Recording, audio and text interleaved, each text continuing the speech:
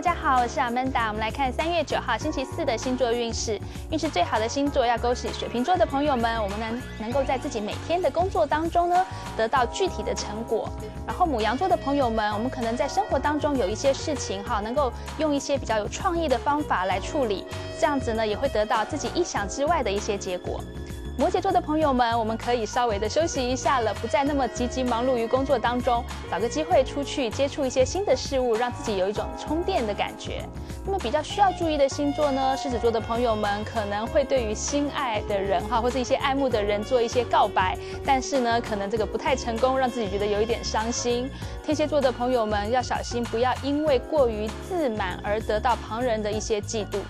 各星座的幸运数字及颜色：火象星座的数字是九，颜色是橘色；土象星座的数字是一，颜色是蓝色；风象星座的数字是七，颜色是紫色；水象星座的数字是五，颜色是灰色。